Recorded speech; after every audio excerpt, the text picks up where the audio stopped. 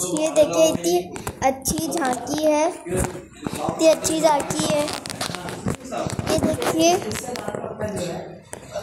ये जन्माष्टमी पे। इतनी अच्छी झांकी लगे। यहाँ पे कृष्णा जी माखन चुरा रहे हैं। यहाँ पे डांट रही है मैया यशोदा कृष्णा जी को। मैं आपको जन्माष्टमी पर कुछ सुनाना चाहती हूँ। जन्माष्टमी पे कृष्णा जी का बर्थडे होता है। फाइव थाउज़ेंड ईयर पहले की बात है। मथुरा का राजा था। वो बहुत अत्याचारी था। उसका नाम था कंस। बहुत अत्याचारी था, बहुत अत्याचारी था। वो इतना अत्याचारी था कि उसने अपने पापा का, पापा अग्रसेन को भी जेल में डाल दिया था। जो उसकी बात नहीं मानता था, उसको वो जेल में डाल देता था। वो बहुत अत्याचारी थी। उस कंस की एक बहन थी, उसका नाम था देवकी। कंस ने देवकी का विवाह अपने मित्र वासुदेव से किया। कंस कंस कंस अपनी बहन देवकी ई को उसके ससुराल ले जा रहा था। तभी वहाँ से आकाश आकाशवाणी हुई। ई की जिस बहन को तुम इतने प्यार से उसके ससुराल ले जा रहे हो, उसी का आठवां पुत्र तुम्हें मार देगा। तो कंस भयभीत हो गया। कंस ने कंस ने देवकी और वासुदेव को जेल में डाल दिया। फिर जितने भी सेवन पुत्र हुए देवकी और वासुदेव के कंस ने उसको मार दिया। तो फिर जब आठवां पुत्र हुआ वो कृष्णा जी हुए।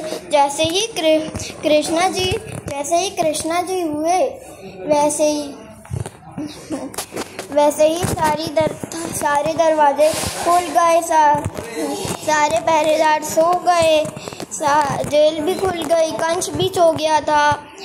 तो वासुदेव ने क्या किया कि कृष्णा जी को टोकरी में रख दिया और एक टोकरी में रख के नंद भवन यशोदा मैया के पास यशोदा मैया के पास और और नंद जी के पास छोड़ आए। वहाँ पे कृष्णा जी का जीवन बहुत अच्छा चल रहा था।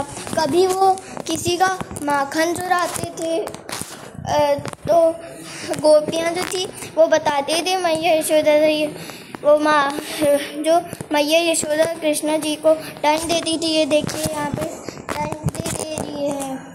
उनके कान पकड़े हुए है।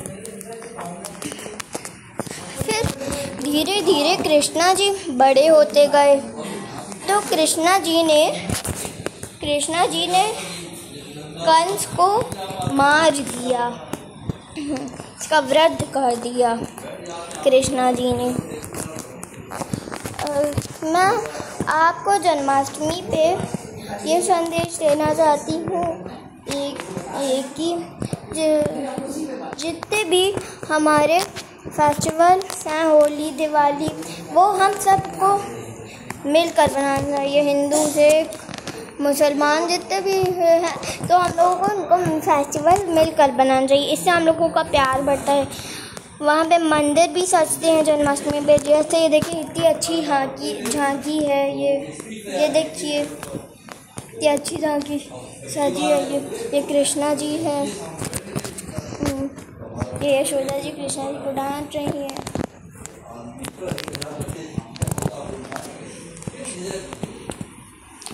Thank you, friends.